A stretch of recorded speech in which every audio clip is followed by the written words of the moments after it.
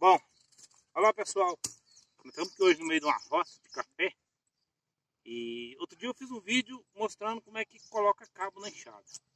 Hoje eu vou fazer o que, que há de ciência atrás de uma capina de enxada. Tá vendo? Primeiro, a enxada não pode ser muito pesada, ela tem que ser, ter uma inclinação carpir, tá vendo? Ó, você vai pegar, você vai assim, ó. ó. Tá vendo? Outra coisa importante é o seguinte. Você vê alguém capinando, você vai carpir, enxada, não, você não, não dá enxadada assim, ó. A enxada não levanta do chão. Meu pai, ele dava comigo na roça, meu pai falava, meu filho, não levanta a enxada do chão, você tem que enxada baixa. É assim, ó. Ó. ó. Isso é capinar, tá vendo? Outra coisa importante, enxada sempre, a mão de trás é fixa, a mão da frente é móvel. Se você capina aqui do mesmo jeito, é a mão de trás é fixa, a da frente é móvel. Por quê? A mão de trás você está sempre segurando no mesmo lugar. A mão da frente você muda de posição. Você joga lá na frente para puxar, ó, já veio para trás. Aí quando você vai arrastando, ela vai mudando de lugar, ó. Você só afirma. Ó, tá vendo?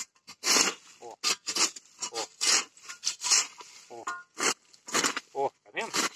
Isso é carpinho de inchada, tá vendo? Ó. Ó,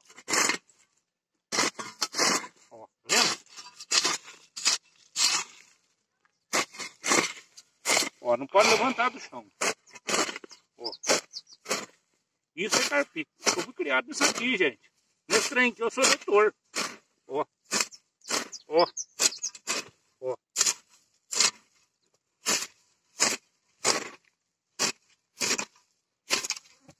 Mas vamos devagar, senão eu canso, né? Tô desacostumado. Já faz bastante tempo que eu não trabalho assim de enxada, né? Eu dou consultoria na roça, mas fui criado nisso aqui. Até 18 anos. Aí eu fui estudar. Como eu sou de família pobre, nos intervalos, nos feriados, na agora tá por causa de já de novo. Mas não perdi o jeito não. Vendo?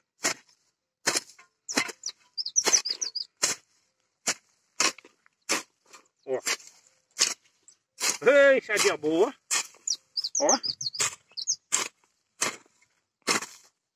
É isso aí, pessoal. Essa é